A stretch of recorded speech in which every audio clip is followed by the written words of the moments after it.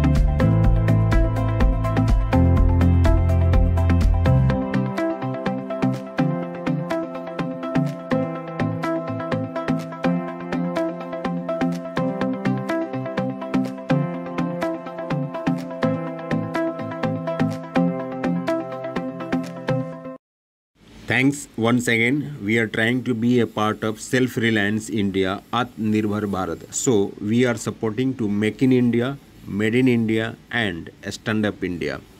Likes and subscribe our channel and share with whoever related to this field. Thank you. Be connected for the next videos.